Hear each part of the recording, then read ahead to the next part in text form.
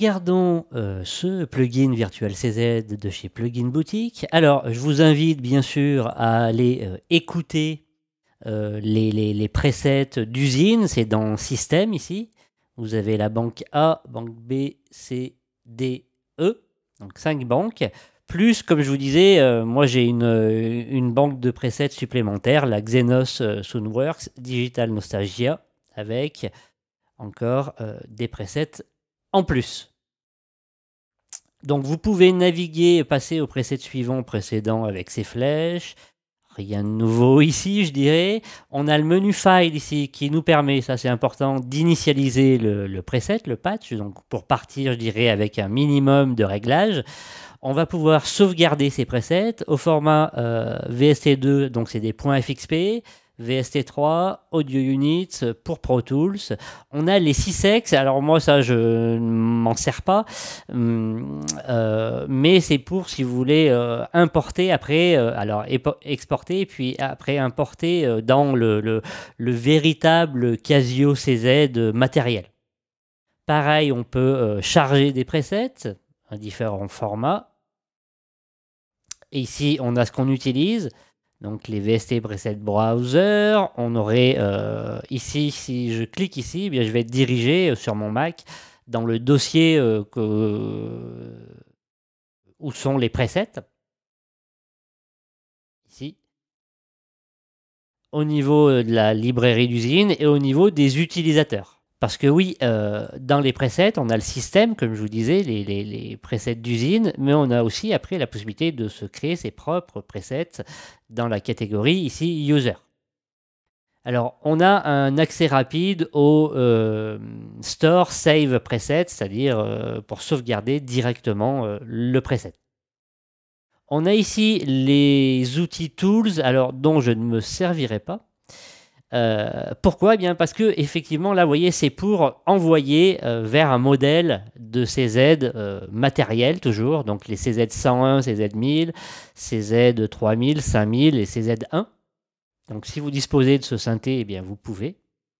Pareil, on a euh, les, slots, donc les canaux MIDI, euh, premier canal jusqu'au 16e. On a le MIDI out, la sortie MIDI. Donc moi, comme j'utilise dans un séquenceur, eh bien je reste sur host MIDI. Et on a le manuel euh, que l'on peut ouvrir ici en anglais. Donc ça, c'était pour la barre du haut, rien de- d'exceptionnel. Alors vous avez vu qu'ici, on a un petit écran euh, que l'on peut euh, changer au niveau de la couleur ou mettre carrément sur off au niveau de la luminosité. Et ici, va s'afficher eh bien plusieurs choses. Euh, quand on touche rien, on a le Virtual CZ, la version, pluginboutique.com, très bien. Mais dès qu'on touche un bouton en paramètres, on a euh, eh bien son nom. Ici, c'est le vibrato rate. Et on a ses valeurs. Donc là, ça va être du Hertz. Là, ça va être des ST, des millisecondes, des centièmes, etc. En dessous euh, de cet écran, on a ici euh, eh un petit rappel euh, des formes d'ondes qu'utilise Virtual CZ. Donc hein, on ne peut pas cliquer dessus, mais on a en premier, eh bien, vous voyez, la dent la square, une autre forme d'onde ici, ici également les noise, etc. Square. Et donc justement, euh, les oscillateurs hum, qui, génèrent le son hein, de, de Virtual CZ sont ici à gauche. Alors on peut, vous voyez, et quand on clique sur une en-tête ici, on peut faire un reset ici, euh, par exemple, de la phase. Donc, euh, comme je vous disais, c'est de la distorsion de phase, mettre on et off. Et euh, quand on clique sur le titre, ici, on peut faire soit un randomize, donc ça va faire des réglages aléatoires. Et à chaque fois que je clique, j'ai un nouveau réglage aléatoire, uniquement euh, de la section oscillateur, où je peux faire un reset.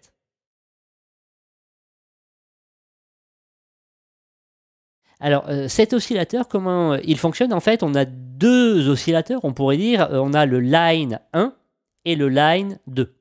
Donc quand on clique ici sur le line 1, on va pouvoir pareil randomiser et faire un reset. Et on va pouvoir aussi copier les réglages du line. On peut verrouiller ceci. Et on peut également jouer sur l'aftertouch. Alors si votre clavier euh, en est pourvu, je vais dire. Et pareil, euh, dessiner la courbe. Alors là c'est verrouillé.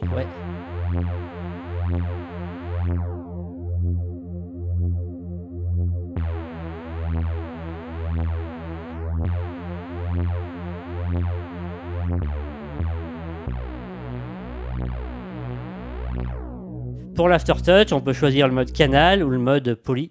Donc il y a un aftertouch polyphonique.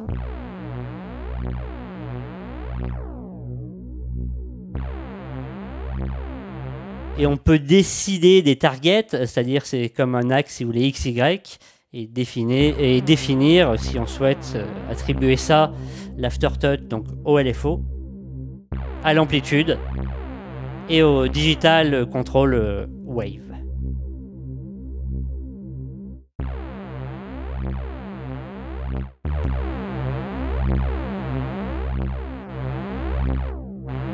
Voyez, je joue plus ou moins fort.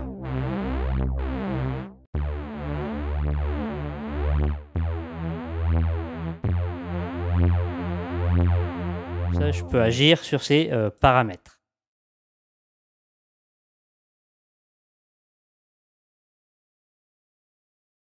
Ensuite, on a euh, eh l'unisson. Alors ça, c'est super important. Là, je suis à trois voix d'unisson. On peut passer à une. Puis deux. Donc là, on va avoir le detune qui va me permettre de désaccorder mes deux voix d'unisson. Et on peut monter jusqu'à 8.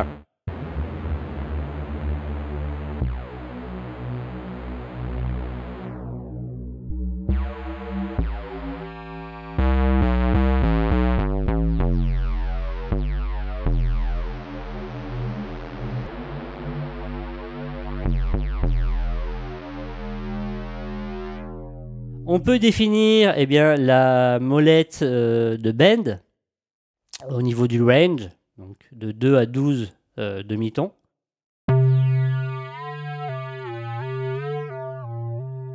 Si je passe à 12, donc à l'octave.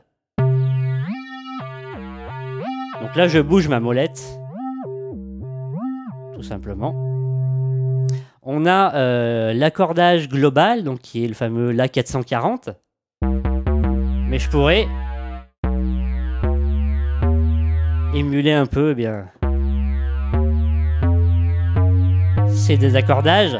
Donc là, c'est à vos risques et périls, entre guillemets. Euh, alors, on peut faire Alt-clic hein, pour remettre un paramètre à sa valeur par défaut. On a un effet de chorus.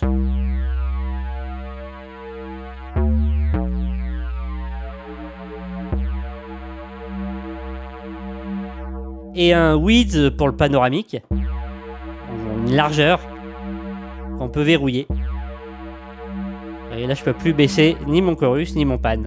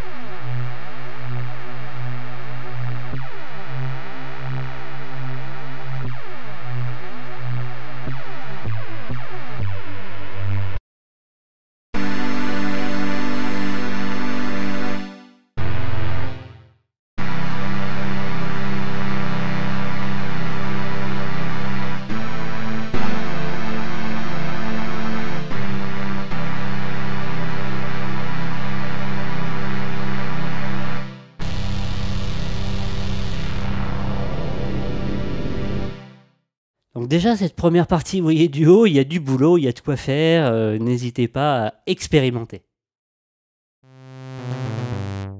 Initialisons le patch. Alors juste un tout petit oubli euh, au niveau du chorus ici. Quand on clique sur chorus, on a le choix entre le chorus Adim, D, et le chorus B qui est le chorus euh, CZ.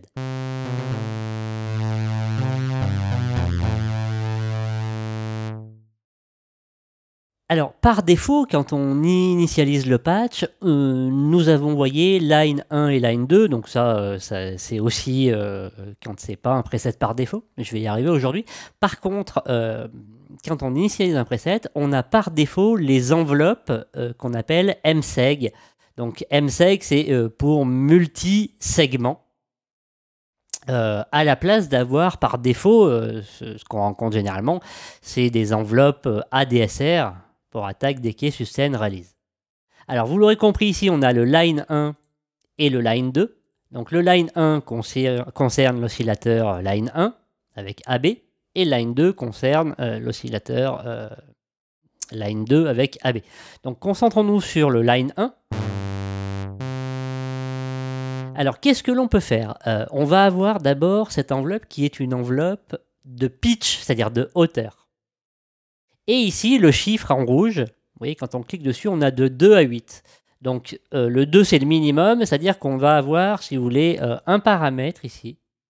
Et vous voyez, quand je le monte sur l'écran, voyez, et regardez ce que va faire mon pitch.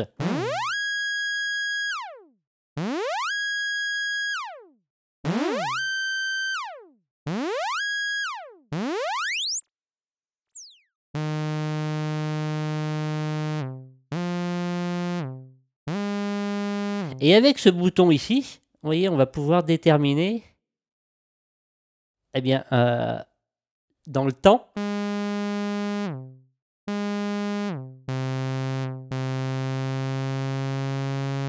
Donc là, vous voyez, on a euh, 234.64 secondes avant d'arriver au point culminant du pitch.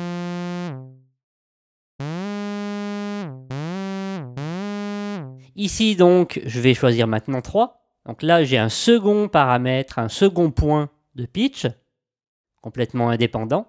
Je pourrais faire comme ici.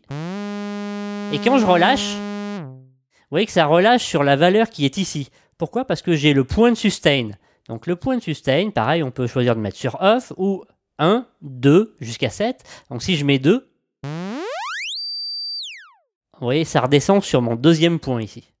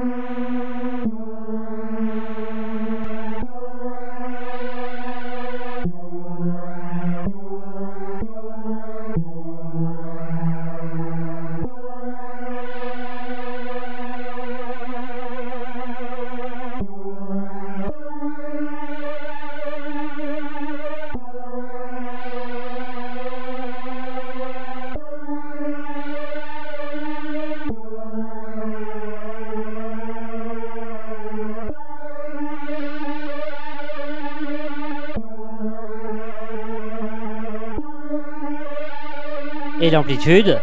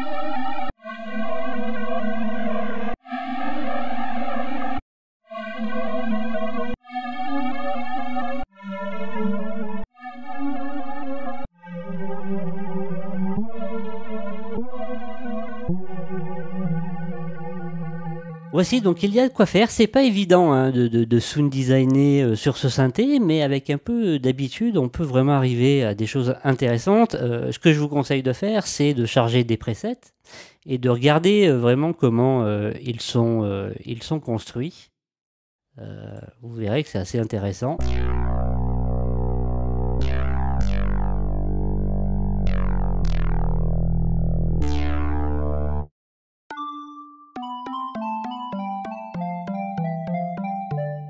On peut obtenir, jusqu'à des belles, des cloches.